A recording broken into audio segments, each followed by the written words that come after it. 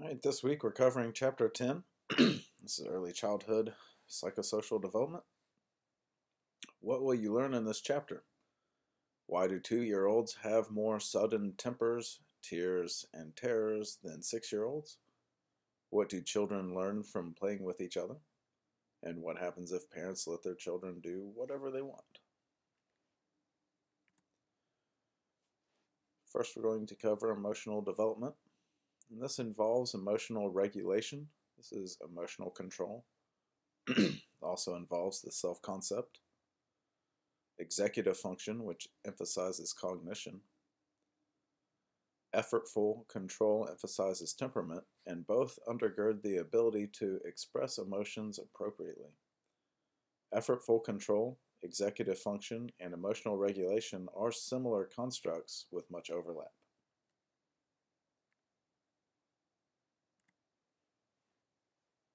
Continuing with emotional development, there's initiative versus guilt. This is Erikson's third psychosocial crisis. Children undertake new skills and activities and feel guilty when they do not succeed at them during this stage. There's also protective optimism. this consists of positivity bias that helps a young child try new things. It begins around age three it is a belief about the child's self worth and is tied to parental confirmation. There's also pride and prejudice. A young U.S. child will pride gender, size, age, and heritage. Early prejudice involves usually nationality and religion superiority, and they typically mirror adult prejudices. Usually, North American parents encourage enthusiasm, effort, and pride in their two to six year olds, and also prevent guilt from becoming self hatred. If instead parents ignore rather than guide emotions, a child may not learn emotional regulation.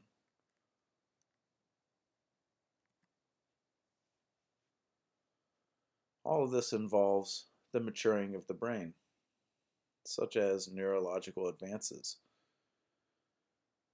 the growth of the prefrontal cortex happens around four or five, not the growth of the whole thing, but it starts to form itself.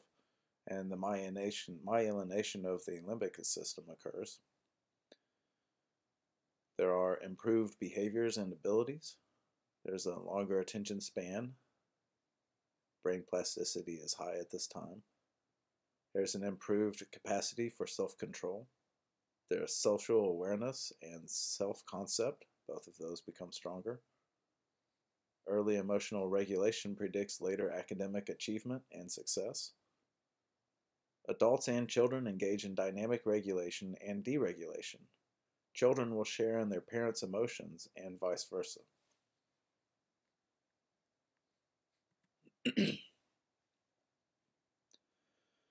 Continuing with emotional development, in terms of motivation, there is intrinsic and extrinsic. Intrinsic motivation is a drive or reason to pursue a goal. It comes from inside a person. It is seen when children invent imaginary friends. extrinsic motivation is a drive or reason to pursue a goal and arises from the need to have achievements rewarded from outside. What do you think? Some educators want children to play less in order to focus on reading and math. Others predict emotional and academic problems for children who rarely play. My opinion is a balanced amount of play versus education. It's okay to disagree. All right, and talking about how children play, Play is universal and the most productive and enjoyable activity that children undertake. There are two general kinds of play pretend play and social play. The increasingly complex social play is due to brain maturation coupled with many hours of social play, and form of play changes with age and culture.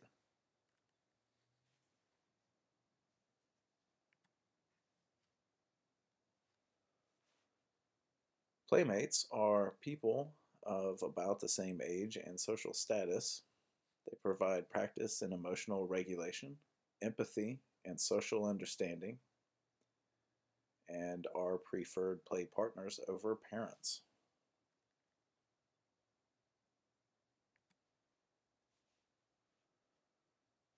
All right, discussing types of play in terms of a scientist named Parten here.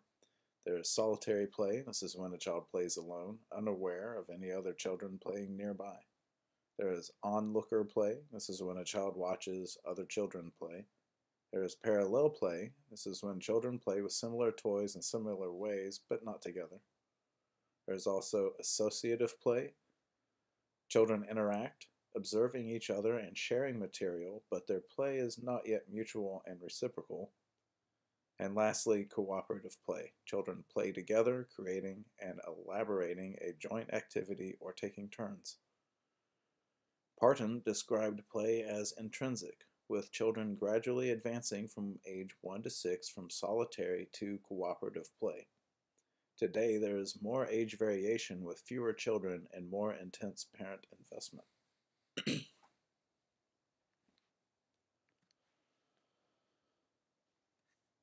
How is play subverted today? There is a current push towards early mastery of academic skills. There is a swift and pervasive rise of electronic media. And adults who lean more toward control than freedom.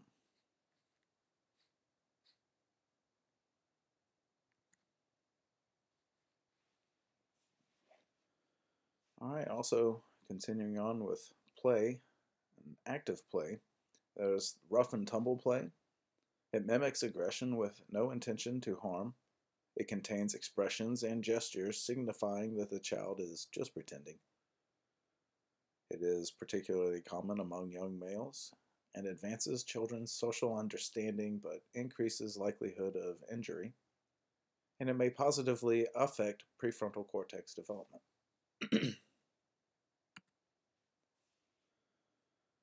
There's also sociodramatic play. Sociodramatic play enables children to explore and rehearse the social roles, explain ideas and persuade playmates, practice emotional regulation, and develop self-concept in, in a non-threatening context. It builds on pretending which emerges in toddlerhood. It is characterized by increasing own gender preferences as children age from 2 to 6 years. Boys gravitate more towards danger and violence over evil, whereas girls play trends more to domestic scenes as adults.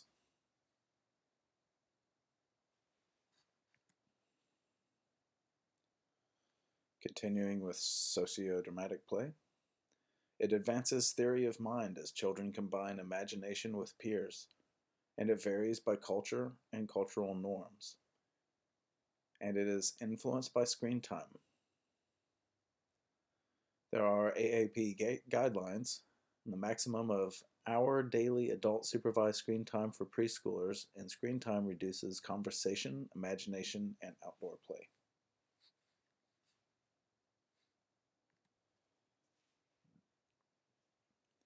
All right, and moving on to learning emotional regulation. Social interaction fuels development of emotional regulation. There's empathy development and prosocial behavior, and antipathy and antisocial behavior. Prosocial and antisocial behavior are innate and universal. Antisocial behavior generally decreases with age, and social understanding increases.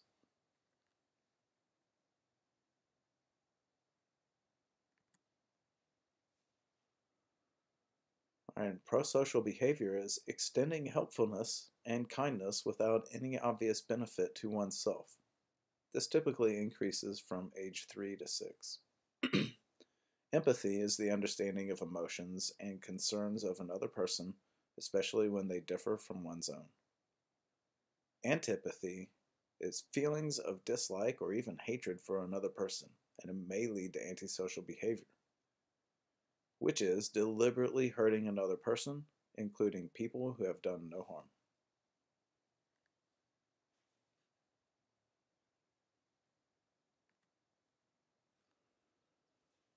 How parents can differ. There are expressions of warmth. Some parents are warm and affectionate, while others are cold and critical. There are strategy, strategies for discipline. Parents vary in how they explain, criticize, persuade, and punish. There are expectations for maturity. Parents vary in expectations for responsibility and self control. And lastly, there is communication. Some parents listen, listen patiently, and others demand silence.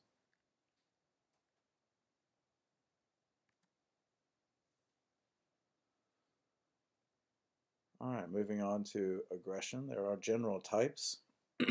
Researchers recognize four general types of aggression. The first is instrumental. This is hurtful behavior that is aimed at gaining something, such as a toy, a place in line, or a turn on the swing that someone else has. There is reactive aggression. This is an impulse retaliation for a hurt, intentional or accidental, that can be verbal or physical. There is relational aggression. These are non physical acts such as insults or social rejection aimed at harming the social connections between the victim and others. And lastly, there is bullying aggression. This is unprovoked, repeated physical or verbal attacks, especially on victims who are li- unlikely to defend themselves.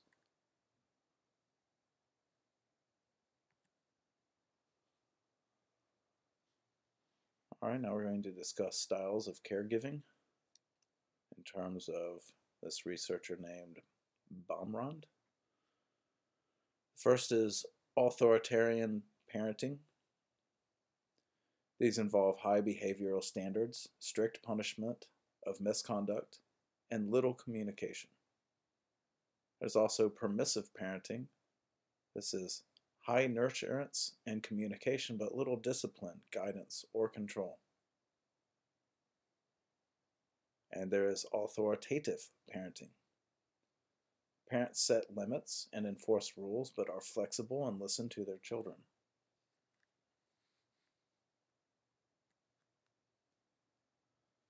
There is a fourth style. The fourth style is sometimes mistaken for a permissive style, but it is different. Called neglectful or uninvolved. Parents are indifferent toward their children and unaware of what is going on in their lives.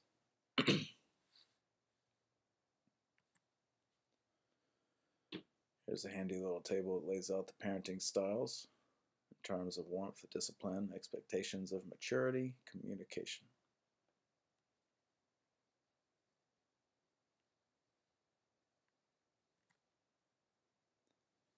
All right, we've discussed parenting styles.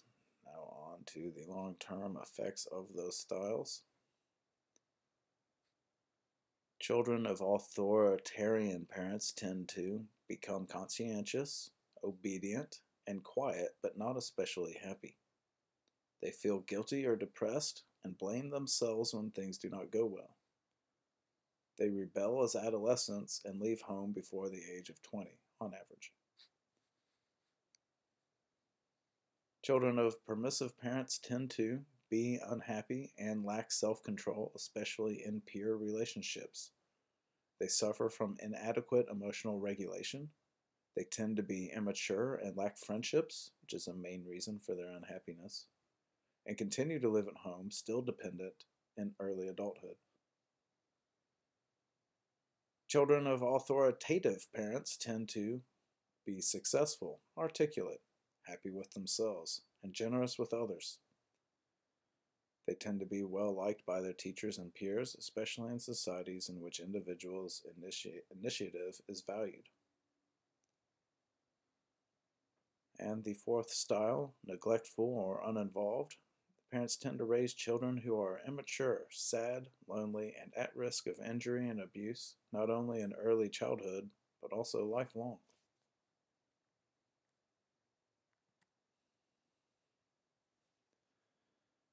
Well, it's kind of easy to conclude which is the best parenting style. I mean, the long term results kind of speak for themselves. Authoritative seems to be the way to go, but there are problems with the research. The original sample had little economic, ethnic, or cultural diversity. There's more focus was on attitudes than on daily interactions. There's no recognition that some authoritarian parents are very loving toward their children. There's no recognition that some permissive parents guide their children intensely, but with words, not rules. And children's contributions to the parent child relationship was overlooked. There's a three way interaction that influences outcome of any parenting style. The first is the child's temperament, the parent's personality, and social familial context.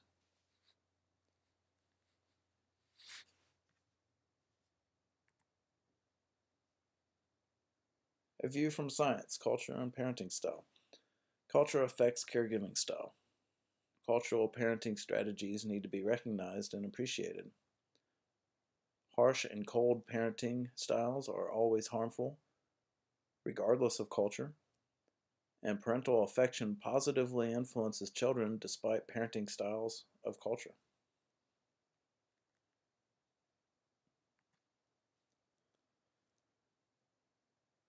All right, in terms of discipline, we'll start with physical punishment. Some researchers believe that physical punishment is harmless, others do not. Physical punishment increases obedience temporarily, but it also increases the possibility of later bullying, delinquency, and abusive behavior. Physical punishment correlates with delayed theory of mind and increased aggression. Longitudinal research finds that children who are physically punished are more likely to be disobedient and to become bullies and delinquents and later abusive adults. They also learn less in school and quit before college.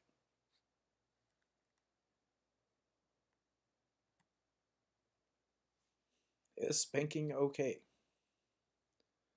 As you might imagine, there are two positions to hold for and against. The pro spanking argument is correlations between spanking and host of negative outcomes may be caused by a child's misbehavior, a third variable, and methods of anti-spanking research are often flawed. The against spanking argument involves spanking may become abusive or worse, and immature cognitive processes results in children not understanding why spanking occurred in the first place and physically punished children often suffer in a variety of ways. Current evidence suggests children should not be spanked. Do you agree or disagree? The research also finds that children who are not spanked are more likely to develop self control. As spanking increases, so does misbehavior.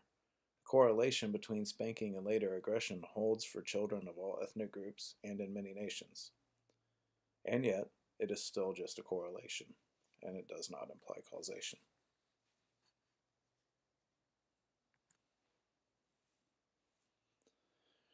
There are, of course, other forms of discipline.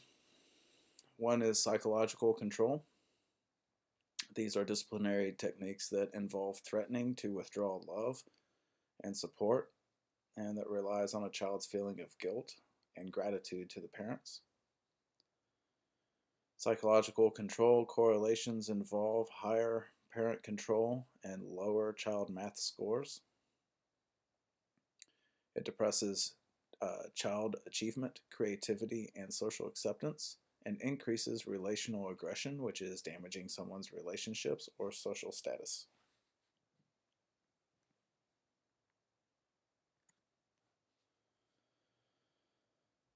All right, continuing on with discipline exclusion, and conversation. There is the timeout. This is a disciplinary technique in which a child is separated from other people and activities for a specified time. Perhaps you have experienced timeout. I know I have. Evaluation of effectiveness is confounded by different styles and uses of timeout. Individual children will react in individual ways. For some children, and in some cultures, sitting alone is an effective form of punishment. For others, it produces an angry child. There is also induction. This is a disciplinary technique in which parents talk to the child in an attempt to understand misbehavior. It is recommended if internalized standards of right or wrong is a goal. In terms of technique, parents talk extensively and help the children understand why their behavior was wrong. Parents listen as children articulate their emotions and encourage children to explore alternative behavior. And conversation helps children internalize standards, but induction takes time and patience.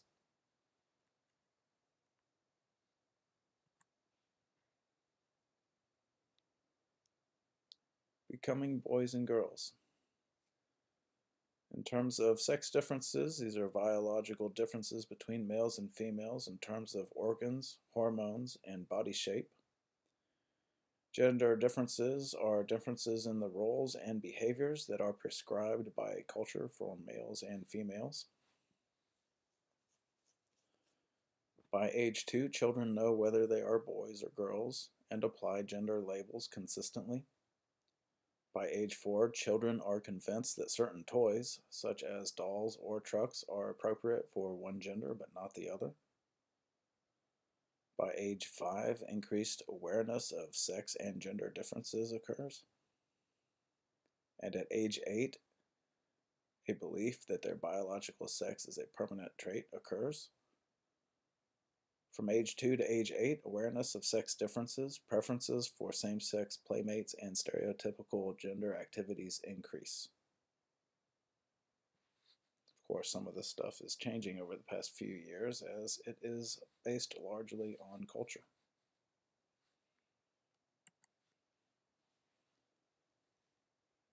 There are theories of gender development. First one we'll cover is psychoanalytical theory and these involve the uh, stages and complexes. First is the phallic stage. This is Freud's third stage of development, when the penis becomes the focus of concern and pleasure. There is the Oedipus complex. This is the unconscious desire of a young boy to replace his father and win his mother's exclusive love. And there's also the superego. This is the judgmental part of the personality that internalizes the moral standards of the parents.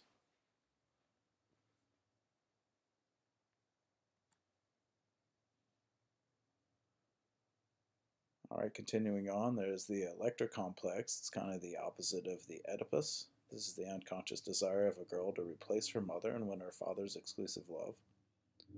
There's also identification. This is an attempt to defend one's self concept by taking on the behaviors and attitudes of someone else.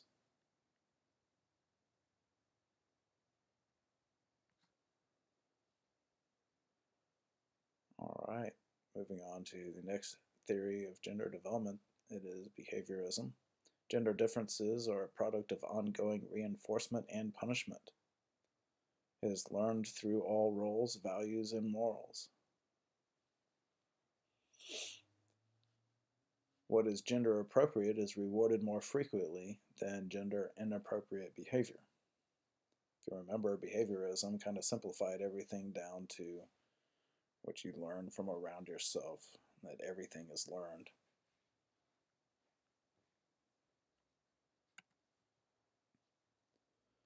Next up is cognitive theory. This offers an alternative explanation for the strong gender identity that becomes apparent at about age 5. It involves gender schema. This is the child's cognitive concept or general belief about sex differences. is based on his or her observations and experiences and young children categorize themselves and everyone else as either male or female, and then they think and behave accordingly.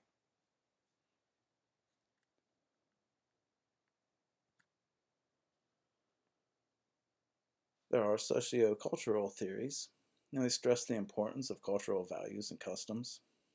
They propose transmission of cultural aspects from larger community and parents and it notes the influence of norms and preferences that change as cultures change. And then there is evolutionary theory. This posits that sexual passion is a basic human drive related to essential urges to survive and reproduce. Gender related behavior differences are dictated by genes.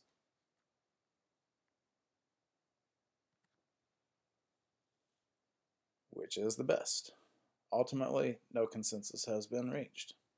theorists differ in their explanations and, and interpretations of gender differences. Some emphasize biological and brain differences, and others stress the impact of culture. Each of the major developmental theories strives to explain the ideas that young children express and the roles they follow. Seems to me like this is one of those situations where combining them all is more insightful than using just one. And that concludes the lecture for Chapter 10.